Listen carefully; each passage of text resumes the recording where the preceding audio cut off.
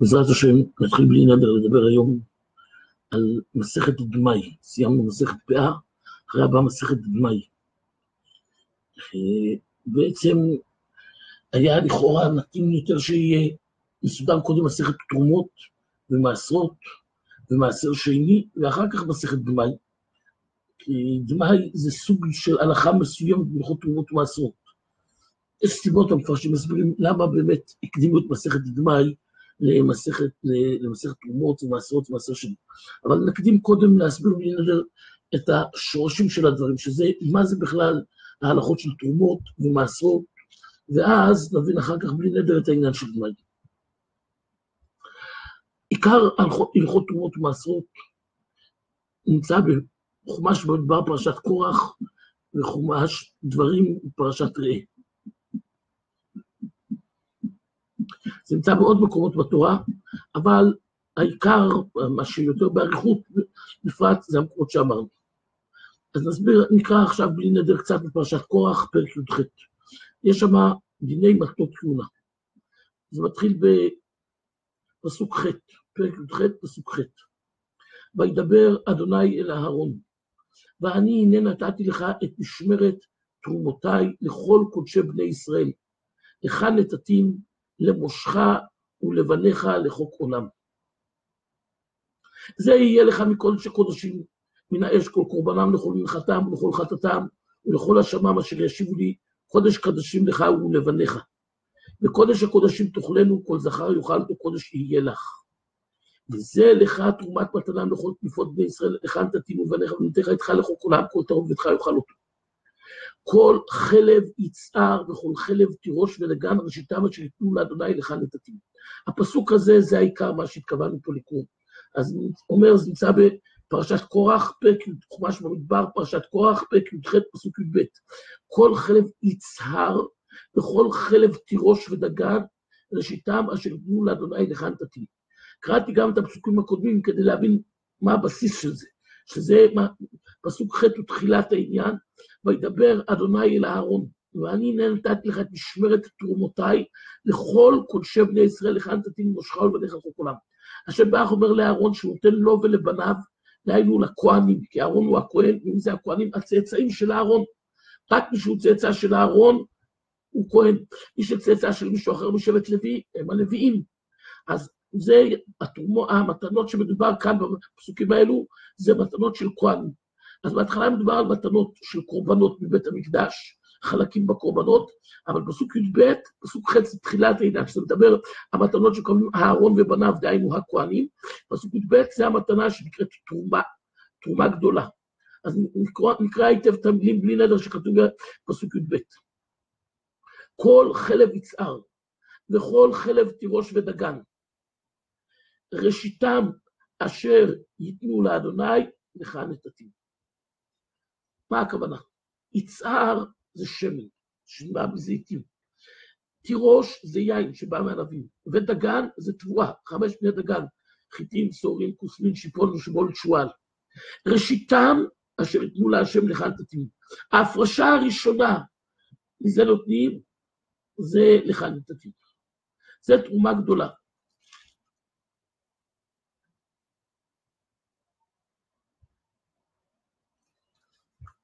אז התורה כותבת לנו כאן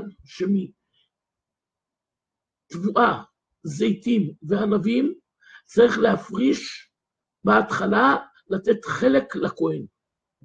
כמה צריך מזה לתת לכהן, לא כתוב כאן. באמת אין שיעור לתרומה גדולה מן התורה. אפילו אם אדם נותן, יש לו ערימה של תבואה של תום שלם, הוא נותן בזה גרגיר אחד של חיטה, וזהו, זה כבר יצא ידי חובת תרומה. אבל חכמים תקנו שצריך לתת לפחות אחד מחמישים זה עין בינונית, ואם הוא קמצן אז אחד משישים, אבל עין יפה זה אחד מארבעים. זאת אומרת, חכמים נתנו את השיעור של כמה לתת תרומה גדולה, נתנו בזה כמה שיעורים, עין יפה, עין בינונית ועין רעה. אחד מארבעים או אחד מחמישים או אחד משישים. אבל עין בינונית זה מה שבדרך כלל נותנים, זה אחד מחמישים. אבל זה תקנת חכמים שיהיה אחד מחמישים. לתורה מספיק אפילו חיטה אחת פותרת את כל הערימה. כן, יש כמה ראשונים שסוברים באמת, שכיוון שבפסוק כאן כתוב יצהר, תירוש ודגן, אז לכן רק תבואה, זיתים וענבים הם הדברים שחייבים מדאורייתא בתרומה, בתרומות ומעשרות. שאר הדברים חייבים רק מדרבנן. אבל יש סוברים שלא, שכל פירות האילן חייבים מן התורה. דעת רמב"ם שכל פירות האילן חייבים מן התורה. לומדים מזיתים וענבים, יש די אלפות הלימוד, שהוא הדין כל הפירות. מעשר של ירקות, תרומות מעשרות של ירקות, זה לכל הדעות, זה ודאי שתרומה של ירקות זה ודאי רק מדרבנן. אז פה למדנו תרומה גדולה. אחרי זה ממשיך הפסוק על עוד כמה מטות תמונה, כמו פטר חמור ועוד. אחרי זה, בפסוק כ"א מתחיל דין מעשר. ולבני לוי הנה נתתי כל מעשר בישראל לנחלה, חלף עבודתם אשר הם עובדים את עבודת אוהל מועד, וכולי. אז פה כתוב דין של מעשר. מעשר כמה זה? עשירית. אחרי זה, בפסוק כ"ה מתחיל, וידבר אדוני משה לאמור, ולהביא אותה לדבר ואמרת להם, כי תחום את בני ישראל את המעשר אשר נתת לכם איתם בנחלתכם בערימות ממנו, תרומת אדוני מעשר מן המעשר. זה תרומת מעשר. אז למדנו פה ג' הפרשות. תרומה גדולה, נותנים אותה לכהנים. מעשר ראשון, דהיינו, אחרי שהוא הפריש תרומה גדולה, שבדרך כלל היו נותנים אחד בחמישים, אז הוא נותן עשירית ממה שנשאר. נגיד, היה לו אה, מאה ושתיים וחצי קילו, והוא נתן שתיים וחצי קילו וזו תרומה גדולה, נשאר לו מאה קילו, והמאה קילו הוא נותן עשר קילו למעשר ראשון. ואז הלוי מהעשר קילו נותן קילו אחד לתרומת מעשר. אז תרומת מעשר יוצא אחד ממאה, והמעשר זה אחד מעשר, אבל זה לא אחד מעשר ואחד ממאה מהסך הכל, אלא אחד מעשר ואחד ממאה, ואחרי שהוציאו מזה את התרומה הגדולה. אז פה למדנו ג' הפרשות, תרומה גדולה, מעשר ראשון, תרומת מעשר. תרומה גדולה ותרומת מעשר שתיהם לכהנים, ואילו המעשר ללוויים. עכשיו, יש הבדל יסודי בין התרומה הגדולה ותרומת מעשר לבין המעשר. התרומה הגדולה ותרומת מעשר מותר רק לכהנים לאכול את זה. גם אחרי שהכהן קיבל את זה, הוא לא יכול להזמין אצלו איזה חבר שהוא לא כהן ולתת לו לאכול את זה. ואילו המעשר ראשון שניתן ללוויים, מותר ללוויים להאכיל את זה לישראלים. ועוד הבדל. התרומה הגדולה ותרומת מעשר, שזה של הכהנים, הכהנים יכולים לאכול זה רק כשהם טהורים. אם כהן נגע במת, או נגע בשרץ, באופן שרץ שמטמא, וכיוצא בזה שאר תרומות, אסור לו לאכול את התרומה. ואילו הוא מעשר, מותר גם לאדם טמא לאכול את זה. אז פה למדנו ג' הפרשות, תרומה גדולה, מעשר ראשון ותרומת מעשר, הם נמצאים בפרשת קורח, בפרק י"ח, פסוקים י"ב,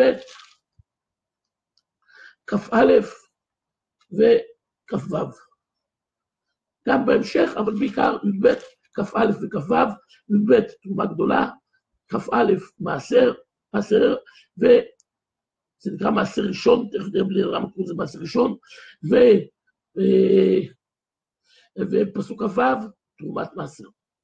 עכשיו, בפרשת, בחומש דברים פרשת ראה, פרק י"ד, סוף פרק י"ד, מפסוק כ"ב והלאה, כתוב שם ככה: עשר תעשר את כל תבואת זרעך, היוצא השדה שנה שנה. ואכלת לפני אדוני אלוהיך במקום שיבחר לשכן שמושם, מעשר את גנך, תירושך מצריך, ובכורות בקרך וצונך למען תלמד ליראה את אדוני אלוהיך כל הימים.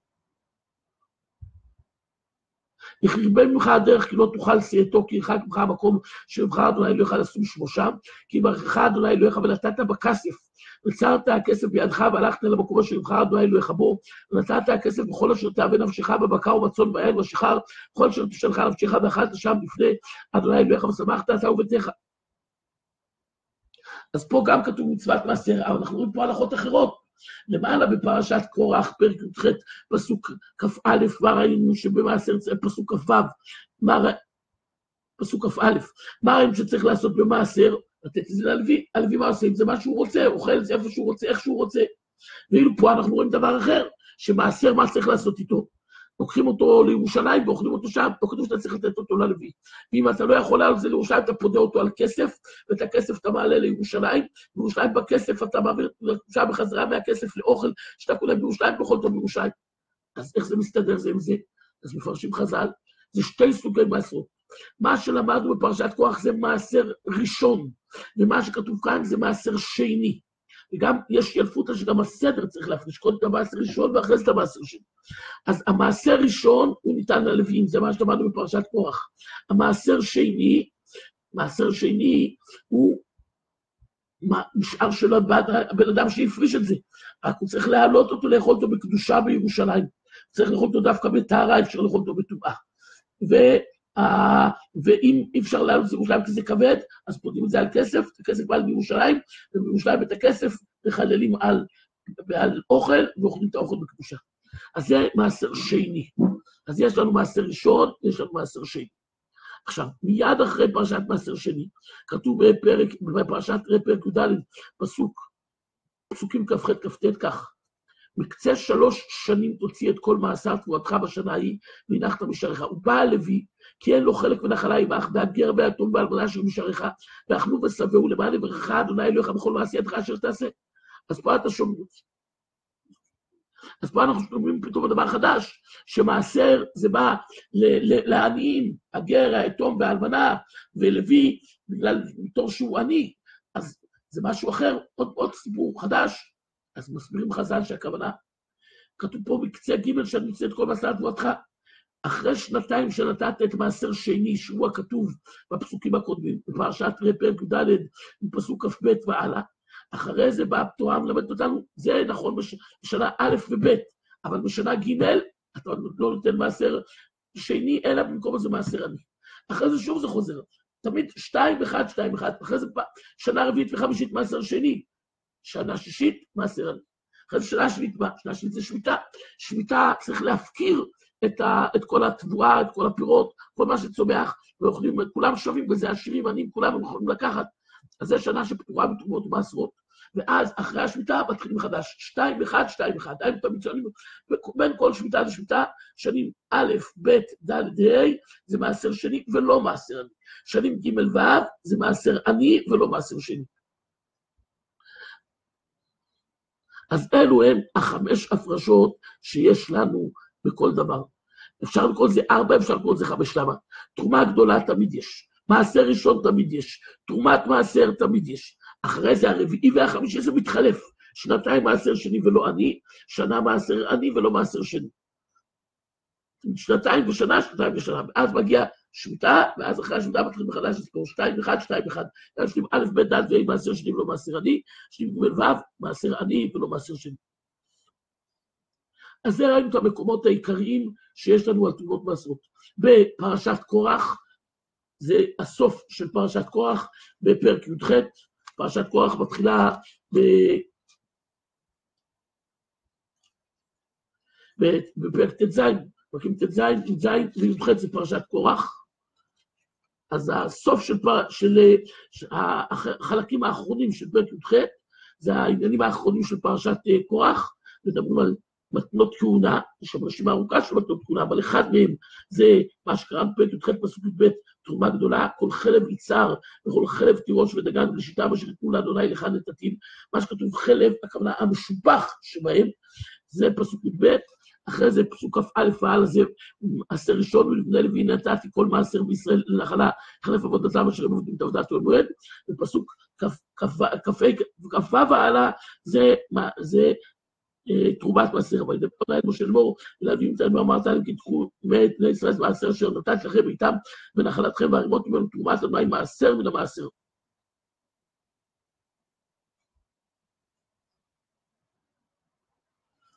ומעשר שני ומעשר עני בפרשת אה, ראה בסוף פרק י"ד.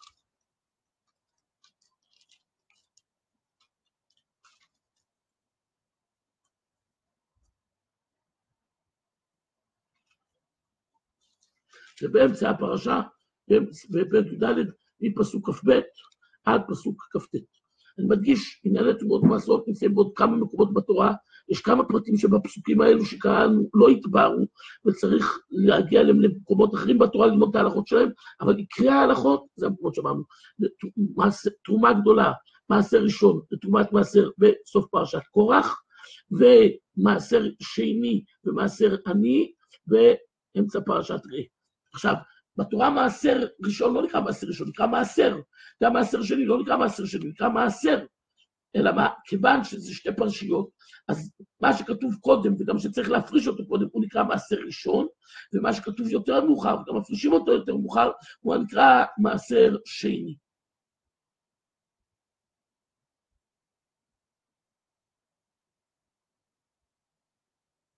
ברמב"ם יש הלכות תרומות ויש הלכות מעשר. אין הלכות דמאי ברמב"ם, הלכות דמאי ברמב"ם נמצא בתוך הלכות מעשר. יש ברמב"ם ספר זרעים, מתחיל הלכות כלאיים, אחרי זה הלכות מטות עניים, ובכללם מעשר עני, זה בהלכות מטות עניים, אחרי זה יש הלכות תרומות, הלכות מעשר, והלכות מעשר של יבנה תרי בית. זה, בהם נמצאים ההלכות של הדברים שדיברנו. אבל לסדר את זה בקצרה, את הסדר של ההפרשות, כותב את זה הרמב"ם בהלכות מטות עניים, פרק ו'. כותב הרמב"ם בהלכות מטות עניים, פרק ו', כיוון ששם מדבר על מעשר עני. שזה האחרון מהרשימה שאמרנו, אבל ברמב"ם זה נמצא הראשון. למה? כי רמב"ם כלל אותו יחד עם לקט שכחה ופאה, והם קודמים, לפני שעושים תרומות מעשרות, כבר נותנים את הלקט שכחה ופאה, אז לכן לרמב"ם כלל אותו איתם כולם התותנים. אומר הרמב"ם בהלכות מתנותנים פרק ו', מתנה אחרת שישית יש לעניים בזרע הארץ. מה זה מתנה אחרת שישית?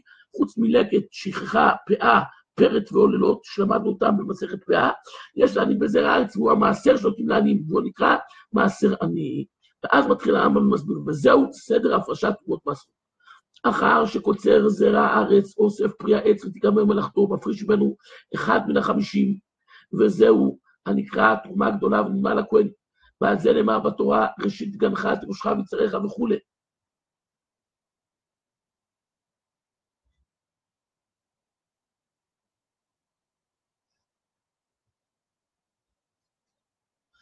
הרמב"ם מביא במצווה של תרומה גדולה, במקום להביא מפרשת קורח, כמו שאנחנו קראנו, הרמב"ם מביא מפרשת פרשת שופטים, שם זה כתוב יותר בפירוש בקיצור. בחומש דברים בפרשת שופטים, כתוב שמה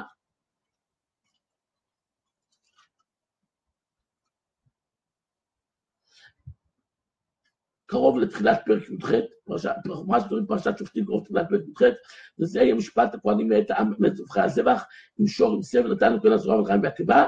עכשיו פסוק ד', ראשית דגנך תירושך ויצהריך, וראשית גרסונך תיתן לו. כתוב גם ראשית דגנך תירושך ויצהריך. זה דגן תירוש ויצהר, אמרנו, זה תבואה, יין ושמן. אז זה הפסוק שהרמב"ם מביא על תרומה גדולה, ואחר כך מפריש מן השאר אחד מן העשרה, וזהו נקרא מעשר ראשון כמו ללוי. ועל זה נאמר בתורה כי את מעשר בני ישראל, ונאמר בני לוי נתתי כל מעשר בישראל.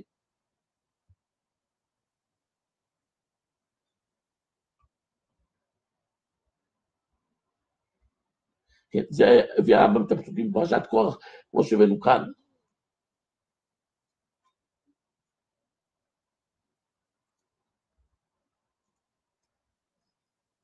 הלאה, ממשיך הרמב"ם ואומר, ואחר כך מפריש מן השאר אחד מעשרה, והוא נקרא מעשר שני. הרמב"ם הקדים את מעשר שני לפני תרומת מעשר. ואחר כך מפריש מן השאר אחד מעשרה, ונקרא מעשר שני, והוא לבעליו אוכלים אותו. בירושלים בעליו נאמר, אם יגאו לגאל איש במעשרו. הרמב"ם מביא פסוק פרשת בחוקותיי.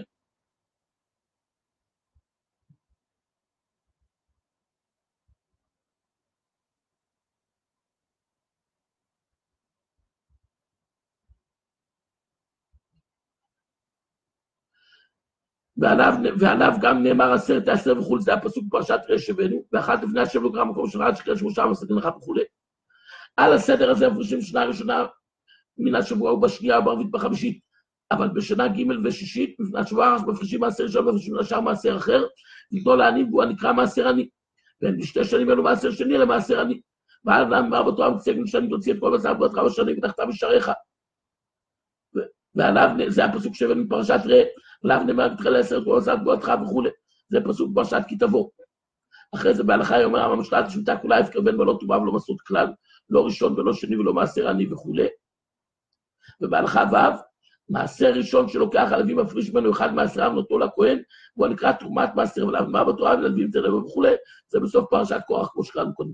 אז מי שירצה לראות ברמב"ם בצורה מרוכזת את כל החמש תרומות מעשרות שאמרנו, תרומה גדולה, מעשר ראשון, תרומת מעשר, מעשר שני ומעשר עני, אז זה נמצא בהלכות מטות עניים, פרק ו', מתחילת הפרק עד הלכה ו'. ואחרי זה הרמב"ם מתחיל לפרט את דיני מעשר עני, שאותם למדנו במסכת פאה. אז למה הרמב"ם עשה כך? כיוון שכמו שאמרנו, את מעשר עני הוא הקדים להלכות תרומות והלכות מעשר ומעשר שני, אף על פי שהוא ההפרשה האחרונה, בגלל שהוא כלל אותו בהלכות מתנות עניים יחד עם לקט שכחה ופאה שהם קודמים לפני תרומות מעשרות. עושים אותם לפני, ש... לפני שעושים ערימה בגורן. אז בדרך כלל גם נותנים לפני התרומות מעשרות. אבל כיוון שזו ההפרשה האחרונה, המעשר עני, אז לכן כשהוא בא לפרט דיני מעשר עני, אז קודם מפרש את סדר תרומות מעשרות הכללי, ואז הוא מסביר את, ה, את, הדין של, את פליטי הדין של מעשר עני.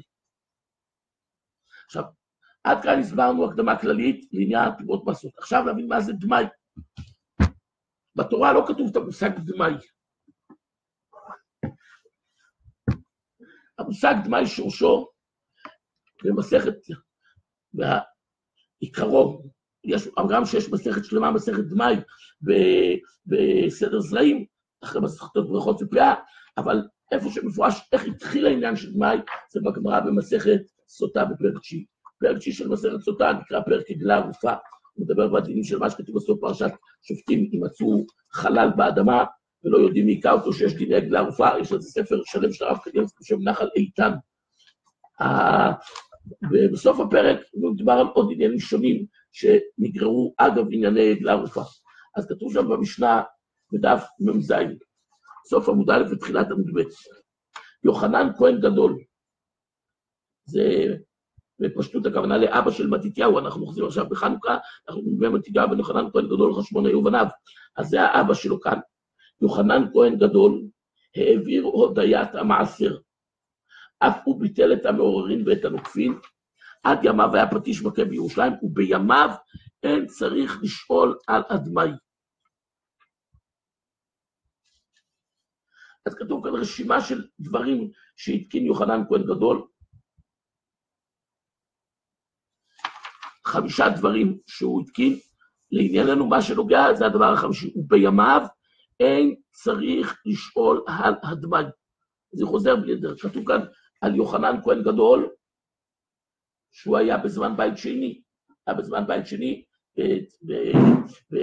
בזמן המלכות, בזמן מלכות אה, יוון, תחילת מלכות חשמונאים, אז הוא היה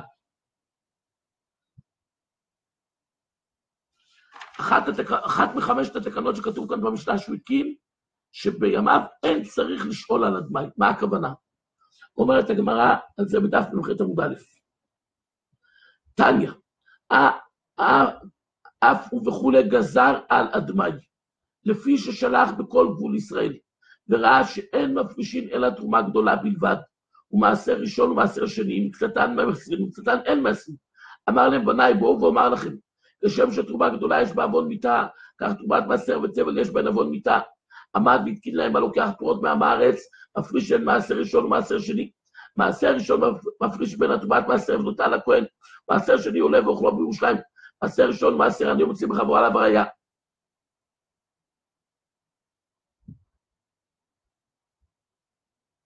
עד כאן הברייתא במסכת סוטה, דף מ"ח עמוד א'.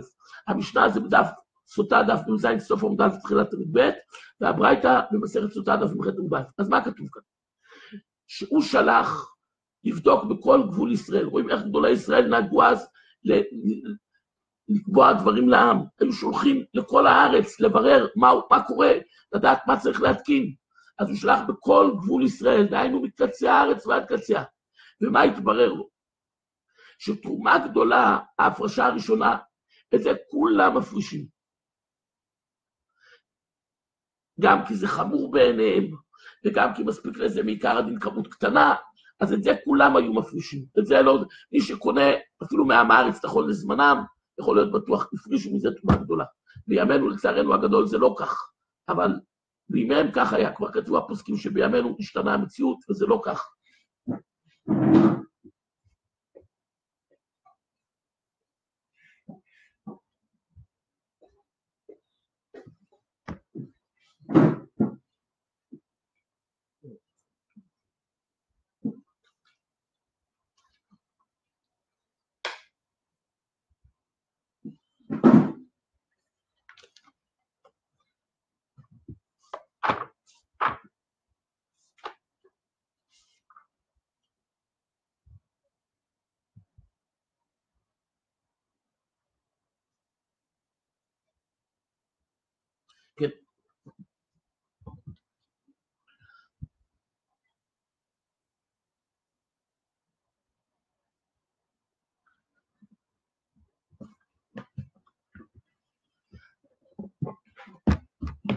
אז הוא ראה שתרומה גדולה כולם היו מפרישים.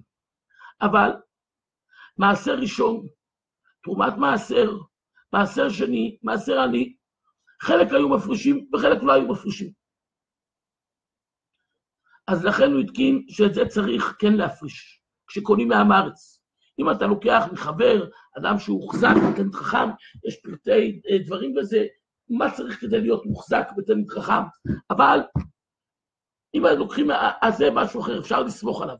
אבל סתם קונים ממי שלא מכירים, או מסתם אדם רגיל, אז צריך להפריש מזה מעשר ראשון, ומהמעשר ראשון תרומת מעשר, ומעשר שני או מעשר עני, תלוי בשנים. עכשיו, מעשר ראשון ומעשר עני, אין בהם הלכות חוץ מהצורך לתת אותם. מעשר ראשון צריך לתת ללוי, הלוי עושה מזה מה שהוא רוצה, אוכל, בטומאה, בטהרה, מאכיל את החברים שלו, הישראלים שמגיעים אליו. מעשר עני, ברגע שאני מקבל את זה, יכול לאכול את זה בטומאה או בטהרה שהוא רוצה, יכול לתת את זה מתנה לחבר שלו, ישראל, או למכור את זה לישראל. אז זה רק דין ממוני. אז לכן, אחרי שצריך להפריש את זה, גם בדמאי צריך להפריש את זה, מעשר ראשון או מעשר עני. אבל לא חייבים לתת את זה, כי המוציא רואה עליו ראייה. כי אמנם הוא ראה שלא זהירים, אבל לא שכולם לא היו מפרישים. היו שכן והיו שלא, ויותר מזה. אומרת הגמרא בכמה מקומות שהרוב כן היו מפרישים. אלו שלא היו מפרישים זה רק מיעוט. כך שמדאורייתא היה מקום לסמוך, היה אפשר לסמוך על הרוב. רק חכמים החמירו לחוש למיעוט. יש הלכה שמדאורייתא בהרבה מקרים סומכים על רוב. יש על זה סוגיה במסכת חולין דף י"א, דף ב', מאיפה למדו את זה שסומכים על רוב. אבל יש הלכה שמדאורייתא סומכים על רוב. אז אומרת הגמרא, בשישה מקומות שהם מסכת שבת דף י"ג עמוד א', בשבת דף כ"ג עמוד א', במסכת ביצה דף ל"ה עמוד ב', במסכת כתובות דף כ"ד עמוד א', במסכת גיטין דף ס"א עמוד ב', במסכת מלאכות דף ל"א עמוד א', שרוב עמי הארץ מעשרים. ומבואר שם בגמרא בנכון שלכן, מדאורייתא לא צריך להסר דמי, זה רק מדרבנן. וכך מבואר גם בגמרא במסכת שבת כ"ג עמוד א', שתרומת דמי זה רק מדרבנן.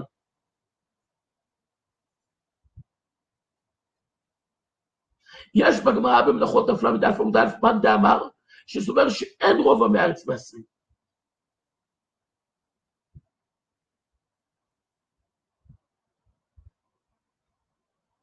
אבל בתוספות במכורות בל"א עמוד ב' ובתשובות מים לבדיחות חלה. והם מפרשים, זה מודפס בסוף הרמב"ם הזרעים, דף צדיק ז' ברמב"ם הישנים, הם מסבירים שגם למאן דאמר של רוב המארץ מעשרים, הוא מודה שתקנת מאי זה רק מדרבנן. מה הכוונה בזה? אז מבואר הדבר בחזון איש,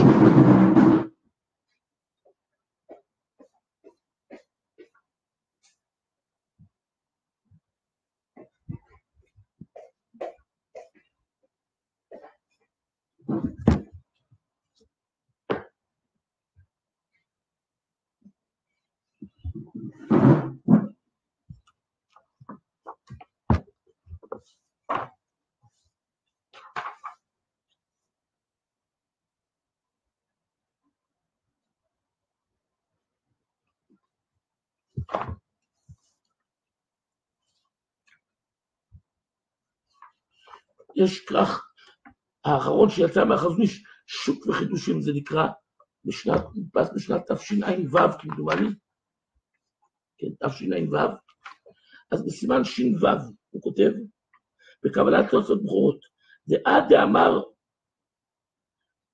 לפי מאן דאמר אה, לפי רבי טרפון במנחות ל"ד עמוד שאין רובע מארץ ועשרים, היינו שהם דנים בדמאי פעולת רובע הארץ ועשרים, אלא חשיב למדרבנן כספק חיוב דאורייתא, ומדרבנן אמרינן כאילו אינן מעשרים.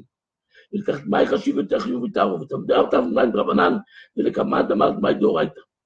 מבואר כאן בחזון איש, שגם המאן דאמר שאין רובע מארץ ועשרים, הוא מודה שדמאי זה רק מדרבנן, למה? נראה כאן מדברי החזון איש, שבאמת יש רוב שמעשרים.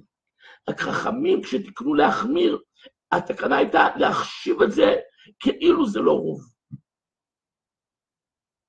למאן דאמר שרוב הארץ מעשרים, אז התקנה שלכם הייתה שאף על פי שבאמת יש רוב, צריך פה לחוש למיעוט. אז התקנה הזאת היא תקנה יותר קלה. אבל יש מאן דאמר שסובר שיש בזה תקנה יותר חמורה, להחשיב את זה כאילו זה לא, לא רוב. יכול להיות שזה היה רוב קטן, רוב מצומצם, אז חכמים החמירו להחשיב את זה כאילו זה לא רוב. אולי גם יכול להיות שהיה, חששו שיהיה זמנים מסוימים שאין רוב. אגב, שאפשר לסמוך על אולי אין רוב זמנים שכן יש רוב, אבל חכמים החמירו את זה. בכל מקרה, החזון איש מסביר בכרך שו"ת חזון איש, סימן ש"ו, עמוד ק"נ, מסביר החזון איש, שגם למאן דאמר, שגם למאן דאמר, במנחות ל"ד ועמדת רבי טרפון, שסובר שאין רובע מארץ מעשרים, הוא מודה שדמאי זה רק מדרבנן. והוא מסביר זה על פי התוספות ברוחות ת"ד ועמוד ב'. והוא מסביר מה הכוונה, נראה בדבר הזה שבמציאות יש רוב, רק הגדר של התקנה הייתה להחשיב את זה כאילו אין רוב. ואז ממילא זה תקנת חכמים יותר חמורה מתקנות אחרות. אבל ודאי שזה רק דין דרבנן. אלו הם דברי החזון איש.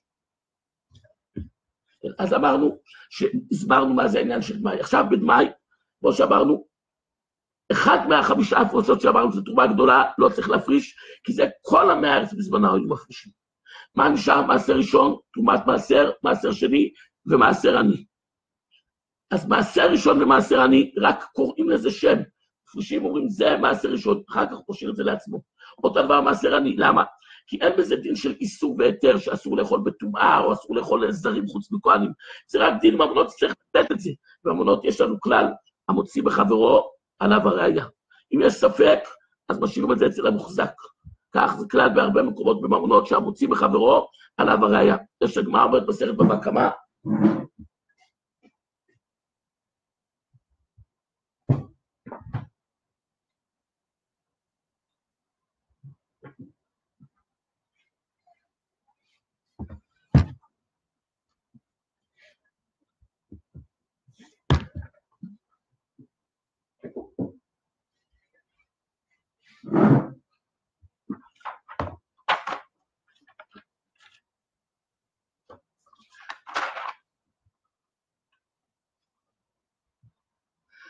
הגמרא אומרת בסרט בבקו בדף בו' עמוד ב', שבספק ממון, המוציא מחברו עליו הראייה. אומרת הגמרא, אמר בשמואל בר נחמן, מניין להמוציא מחברו עליו הראייה? מי אומר שככה דין?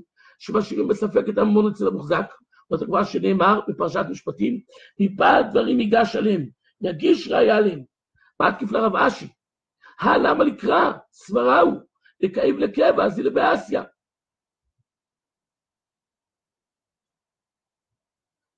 אלא קרא לכדי רב נחמן בר אבוה וכולי.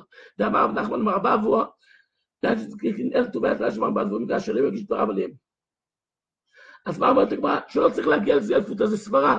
שהמוציא בחברו עליו הראייה. מספק, משאירים את הממון אצל המוחזק.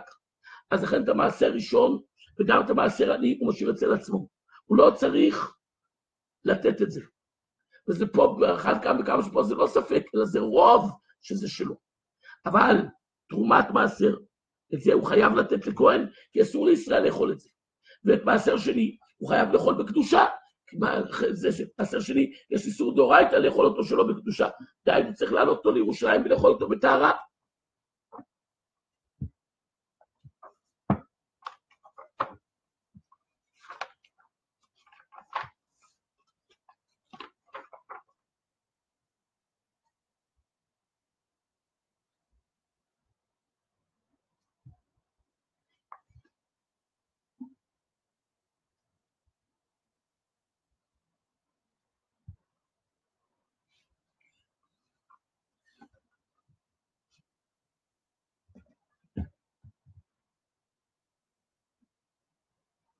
אבל עדיין יש מחלוקת לגבי תרומת מעשר.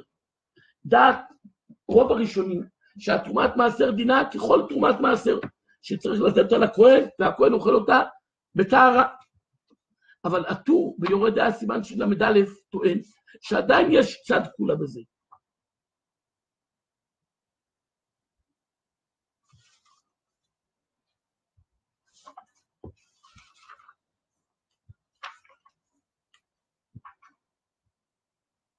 אומר הטור ביורד דעה סוף סימן של ל"א, שהישראל שמפריש תרומת מעשר יכול למכור לכהן את התרומת מעשר, הוא לא צריך לתת לו את זה בחינם. כמו שאנחנו רואים שאת מעשר ראשון ואת המעשר עני הוא משאיר אצלו בכלל, קיבל מה על ידי בריאות שמחה ורע עליו הראייה, אז גם את התרומת מעשר, שאסור לאכול לזרים ובטומאה, וחייב לתת את זה לכהן לאכול טהרה, אבל יכול למכור לו את זה. אבל ברוב הראשונים כתוב לא כך. ברש"י, בסוטה ממ"ח עמוד א', ותוספות יומת ט' עמוד א', סוף דיבור מתחום מעשר, והראש ברש דמאי, מבואר שהוא חייב לתת את זה בחינם לכהן. למה באמת? אז מתרצים רש"י והראש, למה לא צודק כתוב בטענה שלו?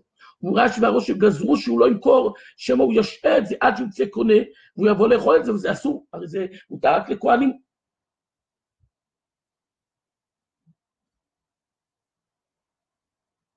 ותוספות תרצו, שכיוון שזה דבר מועט, שזה רק אחד ממאה, ועוד שהמחיר עוד יותר, בגלל שתרומה זה זול וכולי, לפי שאוכלי המועטים, תקנו רבנן שייתן לכהנים.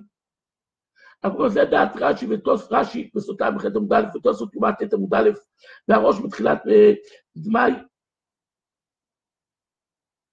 שחולקים על הטור וסוברים שהוא חייב לתת את זה בחינם לכהן.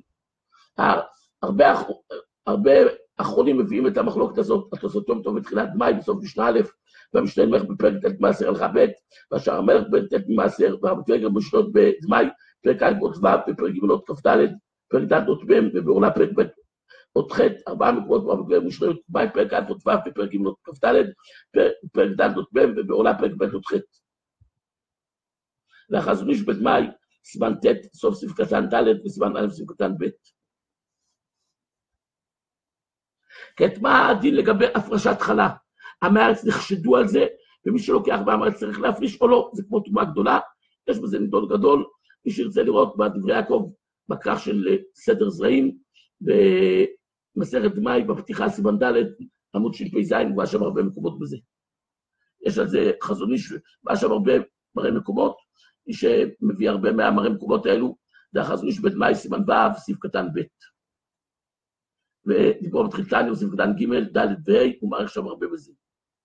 וגם לעניין הלכה, בסעיף קטן ה' הוא מסכם שם לעניין הלכה ואת המנהג בזה.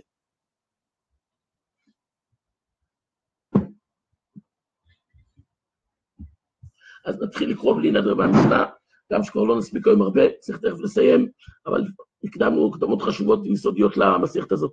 אומרת המשנה, הקלין שבדמאי, השיטין והרימין והעוזרדין ובנות שוח ובנות שקמה ונובלות התמרה והגופנים והנצפה ויהודה האוג והחובץ שביהודה והכוסבר. מה הכוונה? זה סוגים שבהם חכמים הקילו, הקילו שלא צריך להפריש בהם בדמאי. אם אדם קונה תבל מהסוגים האלו, שאומר לו לא הפרשתי, ודאי שצריך לה, צריך להפריש, אבל בדמאי הקילו בהם. למה הקילו בהם בדמאי? הברטנור מסביר, בגלל שרובם באים מההפקר, ויש ספק שמא זה הפקר ופטור מעשר, ועוד שמא איסר את זה. אם זה לא מהפקר, שמא זה מאוסר. יש מפרשים טעם אחר בכולה שלהם, שהם סוגים זולים מאוד, אז הבני אדם לא, לא מתקמצנים על זה מלהפריש את כל התרומות ומעשרות. אז זה הרשימה של הסוגים שכתובים כאן, הקליף שבדמאי, השיטין, והרימין, והעוזרדין, ובנות שוח, ובנות שקמה, ונבלות התמרה, והגופנין, והנצפה, שמונה סוגים וביהודה עוד סוגים, האוג והחומץ שביהודה והכוסבר, אז שם זה 11, ורבי יהודה אומר חילוקים. כל השיטין, אמרנו קודם שהשיטין פטורין, פטורין חוץ משל דופרא. כל הרימין, זה היה שני רימין, פטורין חוץ מהשקמונה. כל בנות שקמה, בנות שקמה זה היה החמישי. כל בנות שקמה פטורות, חוץ מהמוצטפות. אז בראשון ובשני, וב, וב, ובחמישי, רבי יהודה מחלק בין סוגים לסוגים, שהרוב באמת פטורים, כמו שאומר תנא קמא, אבל יש יוצאי דופן שהם חשובים ובהם אין את הקולא הזאת. נחזור שוב בלי את המשנה, נדר בהזדמנות נסביר יותר את המשנה, בינתיים בקצרה בלי נדר, במסכת בית פרק א' משנה א' הקלים שבדמאי, השיטין והרימין והעוזרדין, ובנות שוח ובנות שקמה ובנות התמרה, והגופנים והנצפה וביהודה, האוג והחומץ שביהודה והכוסבר, רבי אומר, כל השיטין פטורים חוץ משל דופרה, כל המינים פטורים חוץ ממי שקמונה, ובנות שקמה פטורות חוץ מן המוסתפות.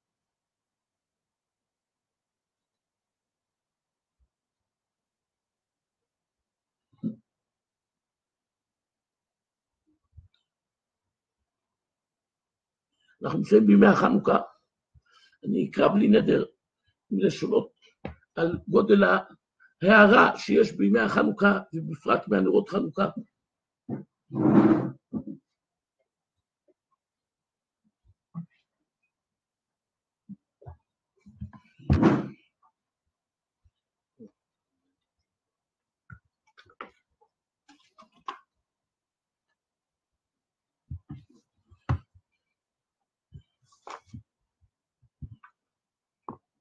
בספר קו הישר, זה ספר שחיבר אותו רב צבי הירש קוידנובר זצ"ל, הבן של רב שמואל קוידנובר זצ"ל, זה ספר לפני כמה מאות שנים. הוא כותב, כל הנר הדלוק לדבר מצווה, יש בו קדושה נפלאה גדולה עד אין שיעור. ואילו היינו זוכים להשגות רוח הקודש, היינו מבינים ומשיגים על ידי המצוות הדלקת הנרות של מצווה עתידות. והנרות של חנוכה באים לזכרו לתוקף הנס הגדול, שהם נרות קדושים ומקודשים בקדושה הילאה, ומראים על נרות ומידות העליונות אשר הם מתעוררים ומתלהבים בגבורה לפעול דין בהרשעים. בספר זרע קודש, זה מרב נפתל מרופשית זצ"ל, מגדולי החסידות, הוא כותב שעל ידי הראייה באור מצווה יתוקן כוח הראייה שבאדם. זאת אומרת, כשאתה מסתכל על השלהבת של הנרות חנוכה, זה מקדש את כוח הראייה שלו, מתקן משהו פגם בראייה, ונזכה על ידם לבוא ליראה, ליראה מהשם, כלומר יראה אותיות ראייה. בספר עבודת ישראל שם מגיד מקוזניץ, מגדולי החסידות, הוא כותב שעל ידי הסתכלות בנר חנוכה, על ידי זה הוא מתקן מה שפגם מאודו בראיית העין. ובספר בני יששכר כותב, אם בעל נפש אתה בעיני שכל לך, תן עיניך בימים האלה בנר מצווה, ויאיר אור שכלך בתורה, ותבין כי מצווה בתורה אור. אז ישתדל באמת לקיים את המצווה בכשרות ובהידור. בספר אמרי פנחס, פנחס מקורי זצ"ל, כתוב שבשעת הדלקת נרות יורד אור הגנוז ומאיר בתוך האור של הנרות.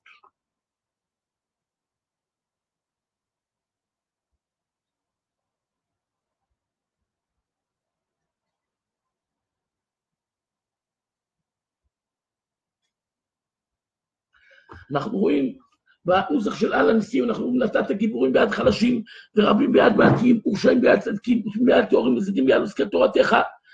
היינו רואים שהיה ניצחונות פלאיים מאוד במלחמה. אז למה את עיקר העניין עשו לפי הנס שדלק הנרות במנורה של המקדש יותר זמן מאשר מה שבדרך הטבע ללמד אותנו, שהעיקר החשיבות של כל ההצלחות זה עד כמה צריכים לקיים את המצוות. זה עיקר ההצלחות. כל שאר ההצלחות האחרות טפלות לגבי זה, כל הניצחון של המלחמה, כל ה...